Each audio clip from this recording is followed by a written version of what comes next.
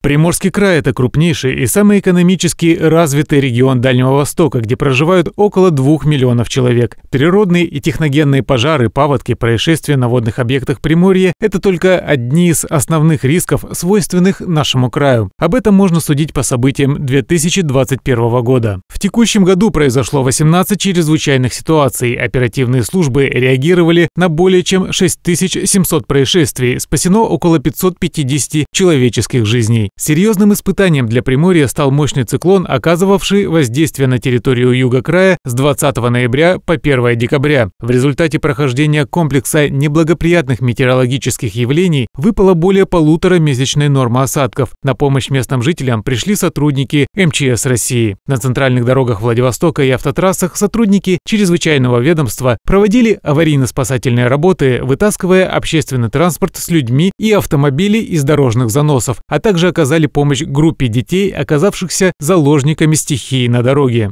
Необходимо упомянуть и об уникальной операции, проведенной спасателями Приморья в заливе Восток Японского моря по спасению иностранного контейнеровоза «Райшайн». В сложных погодных условиях при сильном ветре и волнении моря с применением вертолетов Ми-8 были спасены все члены экипажа. Профилактическая работа является одним из приоритетных направлений деятельности МЧС России, и сотрудники отдела надзорной деятельности вносят весомый вклад в ее развитие. Специалисты МЧС России регулярно проводят профилактические беседы с подрастающим поколением, пожилыми людьми и на объектах с массовым пребыванием граждан. В результате профилактической работы, проведенной надзорными органами МЧС России с населением и персоналом, а также благодаря эффективной работе систем противопожарной защиты, эвакуировано на пожарах 1957 человек. В 2021 году обследовано 8680 территорий жилых массивов, 882 садоводческих, огороднических товарищества, 40 700 709 частных подворий, 2289 многоквартирных жилых домов. Выявлено 3454 нарушения требований пожарной безопасности. В ходе обследований составлено 3967 протоколов. Благодаря совместным усилиям сотрудников МЧС России и взаимодействующих ведомств удалось не допустить перехода огня от палов и природных пожаров на населенные пункты и избежать человеческих жертв в пожароопасный период. Для обеспечения безопасности людей на водных объектах традиционно проводятся крупномасштабные межведомственные акции, которые ежегодно позволяют снижать гибель людей на водных объектах и повышают уровень культуры безопасности жизнедеятельности населения. Благодаря комплексу превентивных мероприятий количество погибших на воде снизилось на 9%. На водных объектах спасено 32 человека. В этом году сотрудниками ГИМС выявлено 720 административных правонарушений.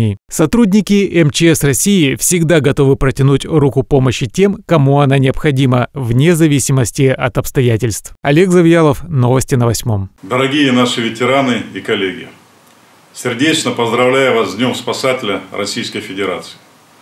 Примите самые теплые и искренние слова поздравления в наш общий праздник. Этот день отмечают представители одной из самых героических профессий – пожарные спасатели, готовые всегда протянуть руку помощи, кому она необходима, вне зависимости от обстоятельств. Спасение человеческих жизней и судеб – это призвание сильных духом и отважных людей. Отмечая профессиональный праздник, мы вспоминаем о тех боевых товарищей, кто пожертвовал собственной жизнью ради спасения других людей. Вечная им память. Хочу выразить слова признательности нашим ветеранам. Несмотря на свой почтенный возраст, вы продолжаете чтить традиции службы, с честью и достоинством выполняя свою работу. Вы вырастили не одно поколение пожарных и спасателей, настоящих профессионалов своего дела. Благодарю всех вас за очень важную и ответственную работу. От всей души поздравляю вас с этим праздником.